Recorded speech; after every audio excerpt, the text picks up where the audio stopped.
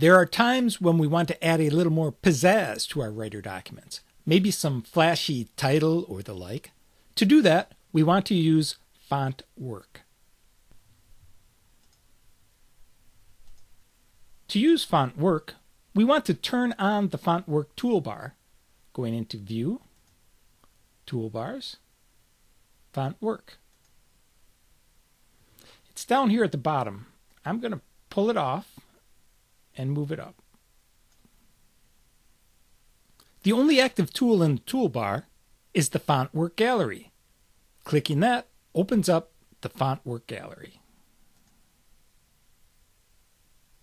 The FontWorks gallery shows many different styles, colors, and shapes available that the FontWork feature can create. Some are pretty standard, and others are in 3D, and some even have shadows. I'm going to choose this one in the upper left hand corner and click OK. The font work is much larger than I want. Notice the blue squares around the sides of it.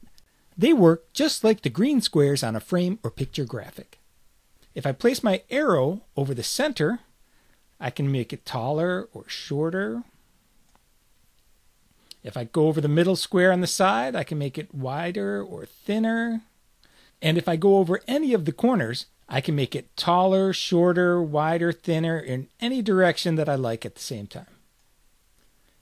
If I hold down shift when my arrow is over one of the blue squares, it can grow or shrink as I like. And it works on the corners as well as the center when I hold down shift. Notice there's no undo for my shrinking and growing. And I'm going to make this a little smaller so that we can work with it.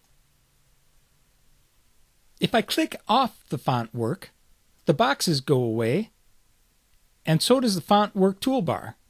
If I click on the font work, the blue boxes return as well as our font work toolbar.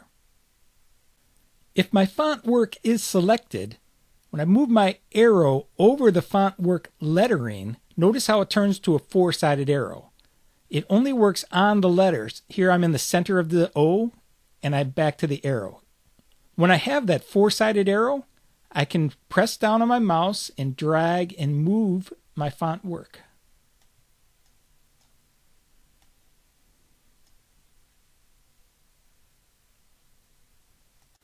On many of our font work shapes, we have a yellow dot. When I move my arrow over the yellow dot, the dot turns to a hand.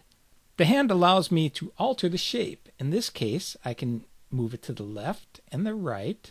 I move it up, nothing happens, only to the left or the right for this font work shape. Other font work shapes will have a different effect. To change the font work text, we just double click on it. Whether we're in edit mode or off it, it doesn't matter. We double click, it will bring up the current text. I'm going to backspace, change it to the Frugal Computer Guy. You'll think I just need to hit enter to get out of this. If I hit enter, it just gives me another line and I can add more text. When we're done entering our text, we just click off the font work.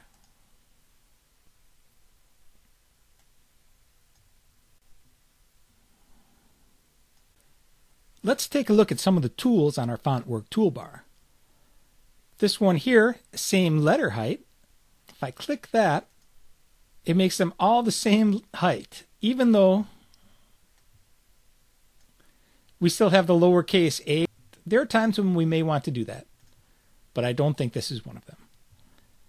The other one here is the font work character spacing. We can go very tight, putting all the letters very close together and we may also want them very loose or somewhere in between. I'm going to go with very tight for right now.